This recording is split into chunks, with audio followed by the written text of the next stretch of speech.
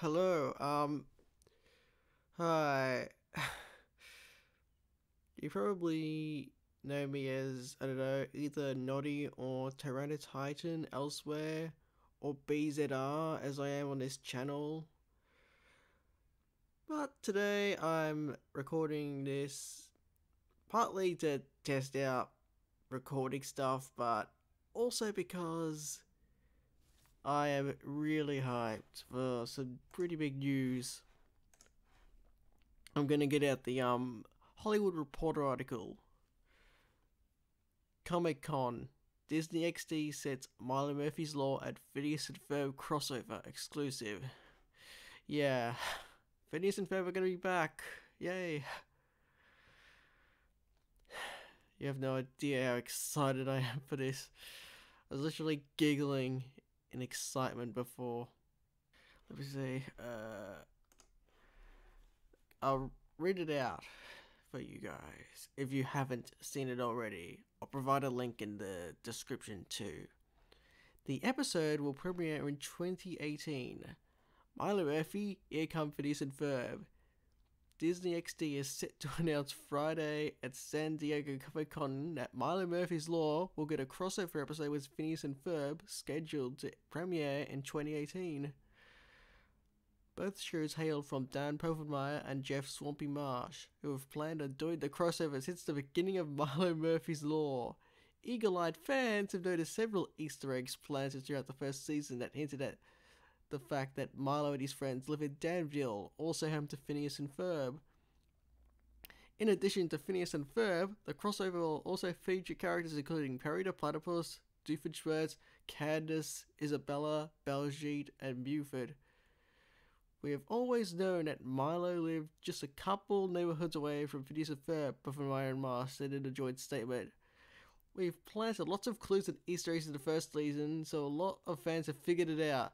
But what they don't know is that the story arc of Milo Murphy's Law has been designed from the very beginning to lead us to a crossover with all of the Phineas and Ferb characters. It's planned for early in the second season, and we can't wait for the fans to see these two worlds collide. Milo Murphy's Law follows 13 year old Milo Murphy, played by Al Yankovic, aka Weird Al, the fictional great great great great grandson of the Murphy's Law namesake. Milo is the personification of Murphy's Law, where anything that can go wrong will go wrong. The series was recently renewed for a second season. And Ferb wrapped production two years ago after 126 episodes, five one-hour specials. Um, I don't think that's correct. I'm pretty sure there's more than five.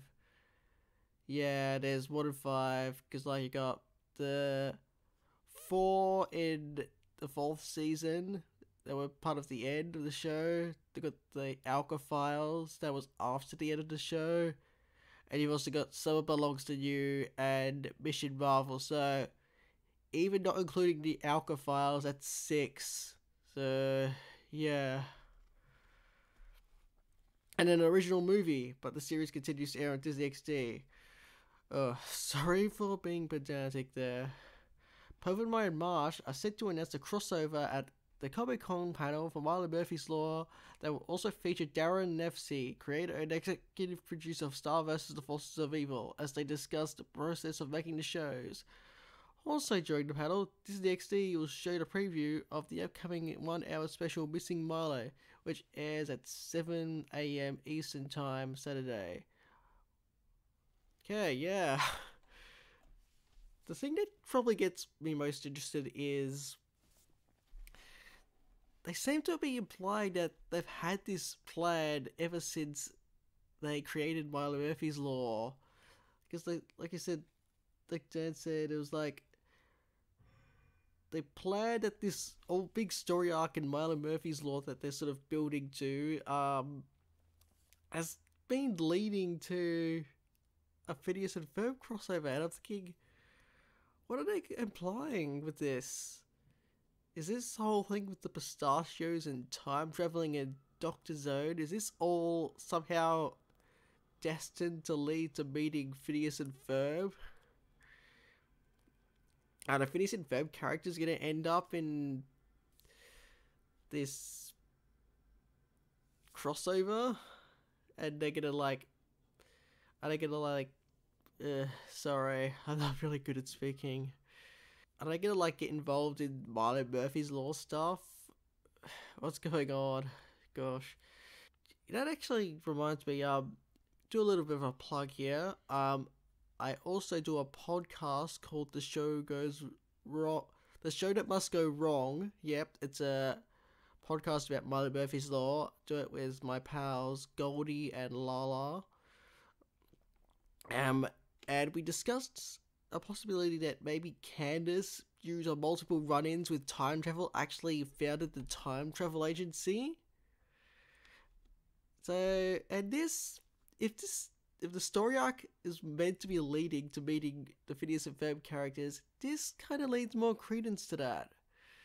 Not to mention, we have, but yeah, it's basically like this old Milo story arc is leading to Phineas and Ferb characters being involved in this stuff. Somehow ends up leading to the founding of the time travel agency bot. And maybe Candace is involved in that. And um yeah, and we even just mentioned silly things like, you know, the Fireside Girls handbook having time travel. Maybe that's relevant, but now that this is happening, I don't know, maybe it's actually something worth taking seriously. But I mean, I mean, like, all this story stuff aside, I just I'm just really excited to see the Phineas Ferb characters again.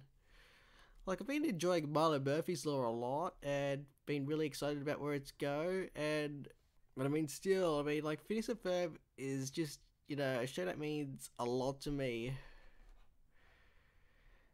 I don't know. It's I mean it's like I guess it's like one of the first I guess one of the first animated shows that I got sort of fully invested in which I know is probably gonna weird some people out because it's the same thing every episode or whatever they complain about the people who don't like it.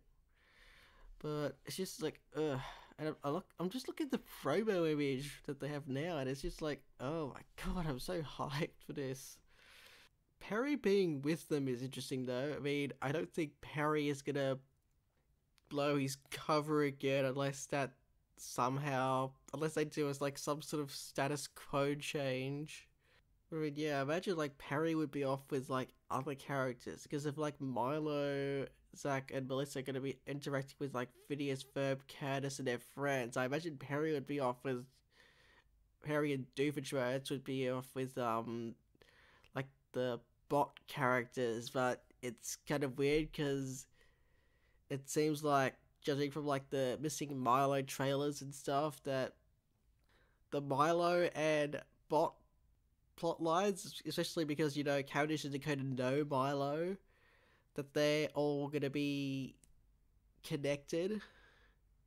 So I wonder how they're gonna do that, or are they gonna like do yet another memory wipe thing? Uh, I don't know.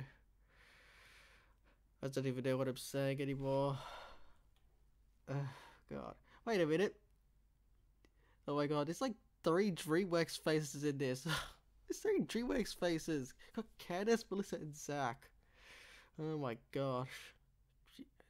Def- I guess I really do want to know what they have planned with this. It's like I'm probably repeating myself by this point, but what are they going to achieve with this? Like, I definitely feel like they've got a reason for this, and I am definitely curious that they're doing this so early because I guess I was personally a little worried about this happening, believe it or not, because I guess to put it simply, I was worried that I guess I'm worried like even if Violet Murphy's Law is gonna always is gonna be you know pretty good and all that, it is always gonna live in the shadow of Phineas and Ferb. And I'm I guess a part of me is a bit worried that you know stuff like this happening so soon is only gonna further that. But it's like on one hand, like on one hand, I am worried whether this you know will negatively affect Milo at all. But uh, on the other hand, it's just I'm just so happy to see these characters mm. again. These characters that I love so much. And it's just like yay. see, is there anything else I can mention? Oh yeah, there's like yeah, they do mention about how they like put lots of like references and stuff to Phineas and Ferb because it's in the same universe.